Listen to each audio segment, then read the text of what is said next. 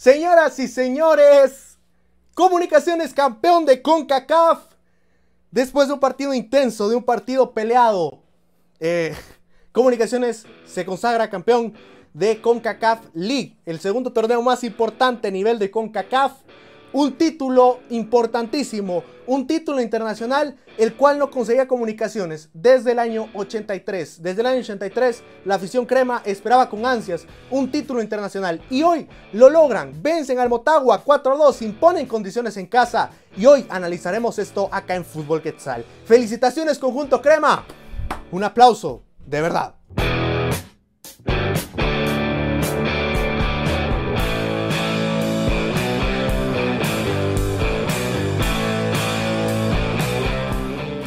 Bueno, señoras y señores, un partido bastante peleado, el cual se vivió el día de hoy. El Motagua empezó ganando dos goles a cero.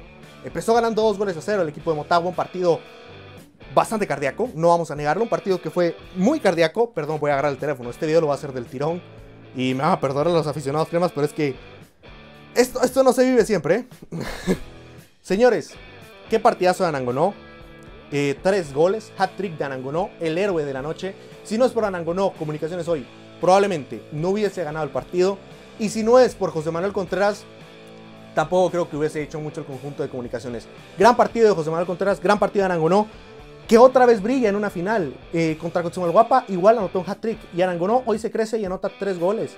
Eh, bueno, perdón, Lacayo fue el que anotó el hat-trick contra, contra Santa Lucía, que Lacayo también anotó en este partido. Bueno, ¿qué podemos decir, señores? Una final bastante cardíaca. Me parece que Comunicaciones inició bastante mal, se le vio bastante nervioso. Pienso que sobre todo porque vio la presión que había sobre la afición, vio la ilusión y no querían eh, arriesgarse. Lo bueno de todo esto es que se arriesgaron al final. Ya cuando iban perdiendo se fueron arriesgando de poco y lograron empatar el partido y posteriormente remontarlo de una manera épica, de una manera sencillamente eficiente. ¿Qué podemos decir, señores? ¿Dónde están ahora las personas que decían que la Liga Guatemalteca no sirve?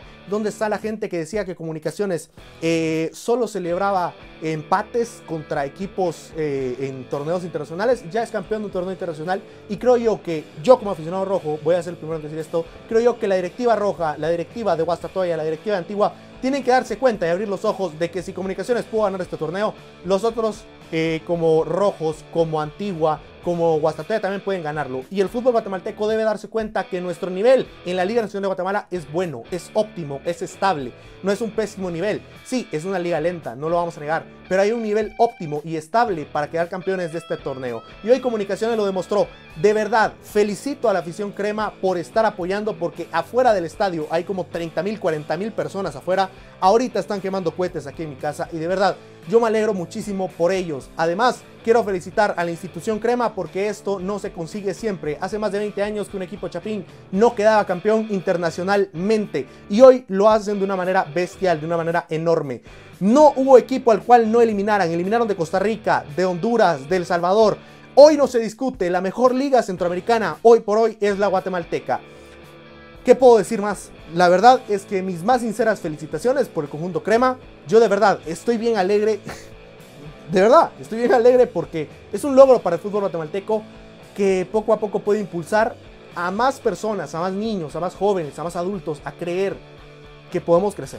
A creer que podemos crecer, pero todo dependerá de cuántas ganas tengamos de ganar. Y hoy Comunicaciones demostró tener muchas ganas de ganar este campeonato.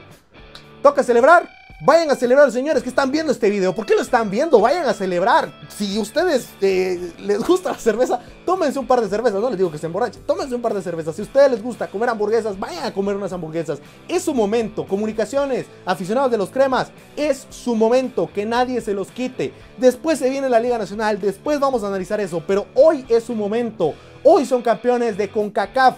Del segundo torneo más importante de CONCACAF. Son campeones de Centroamérica, Canadá y el Caribe. Son campeones. Por Dios, ¿qué están esperando? Vayan a festejar, quemen cohetes, vayan al obelisco. Esto no pasa todos los días. Comunicaciones, este sería su tercer título internacional. Vayan a celebrarlo, vayan a celebrarlo con todo y felicitaciones. De verdad, gracias por ver este video. Este video es patrocinado por OneXBet. Ahora sí, sin nada más para agregar, me despido. Felicitaciones, comunicaciones. Nos vemos en la próxima con un nuevo video. Hasta pronto, que Dios los bendiga.